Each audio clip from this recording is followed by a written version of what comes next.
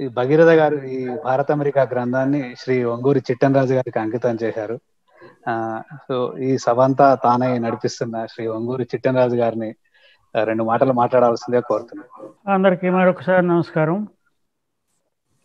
ఈ భగీరథ గారితో మా వంశీ రామరాజు ధర్మవాణి రెండు వేల పన్నెండులో పరిచయం అయింది వంశీ రామరాజు గారు ఎవరైనా పరిచయం చేస్తే అవతల వ్యక్తి ఎలా చూడాలని ఇంకేం ఆలోచించుకోక్కర్లా.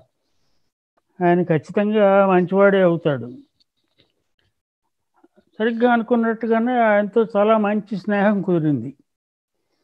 కుదరడమే కాదు నేను మా సాయి రాచకుండా అలాగే అమెరికాలో ఆయన ఎవరిని కలుసుకున్నా కూడా చాలా స్నేహంగా ఉండి ఆ తర్వాత కూడా అప్పుడప్పుడు పలకరిస్తూ వచ్చిన భగీరథ గారు రెండు మూడు నెలల క్రితం పిలిచి రాజుగారు నేను ఒక పుస్తకం రాశాను. అది మీకు అంకితం ఇస్తాను అన్నాడు. ఆయన అప్పటికే పద్నాలుగు పుస్తకాలు రాశాడని తెలిసి ఈ పాడికి సరుకు అయిపోయి ఉంటుంది ఇంకేం రాసి ఉంటాడు ఇది నాకు అంకిస్తాం వస్తున్నాడు అంటే నాకు కొంచెం భయం వేసింది.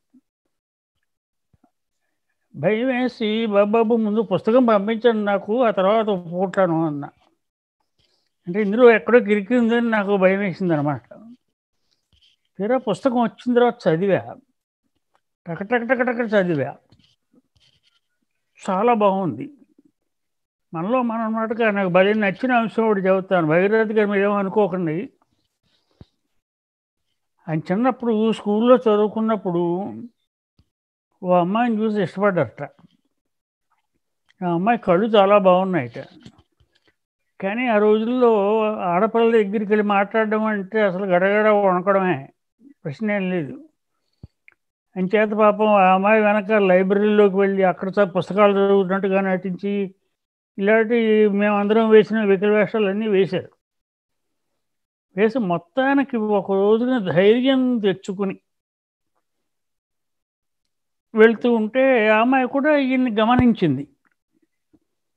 ఇతని దగ్గరికి వెళ్ళగానే అమ్మాయి టక్కన ఆపి ఇగో నువ్వు నాకు ఏం చెప్పదలుచుకున్నావో నాకు తెలుసు. పిచ్చి పిచ్చి వేషాలు అన్నీ మానేసి బుద్ధిగా చదువుకో ప్రేమ దోమ అంటూ వెనకబడకు. అని చెప్పగానే ఈయన అమ్మాయికి నమస్కారం పెట్టి అమ్మయ్య రక్షించావు అనుకుని వెనక్కి వచ్చేసి హాయిగా చదువుకుంటూ ఇంత గొప్పవాడు అయ్యాడు అది నాకు ఈ పుస్తకంలో భలే నచ్చిన విషయం. అంటే ఇలాంటి తమాషా విషయాలు భగీరథ గారు చాలా బాగా రాశారు. అమెరికా ప్రయాణాన్ని భారతదేశ చరిత్రని అలనాటి చరిత్ర నుంచి స్వాతంత్ర పోరాటం దాకా ఆయన రాసిన పద్ధతి చాలా బాగా నచ్చింది భగీరథ గారు. చాలా చాలా సంతోషం. మంచి పుస్తకం. ఇది నాకు అంకితం ఇవ్వడం నేను చాలా చాలా అదృష్టంగా భావిస్తున్నాను. ధన్యవాదాలు. నమస్కారం.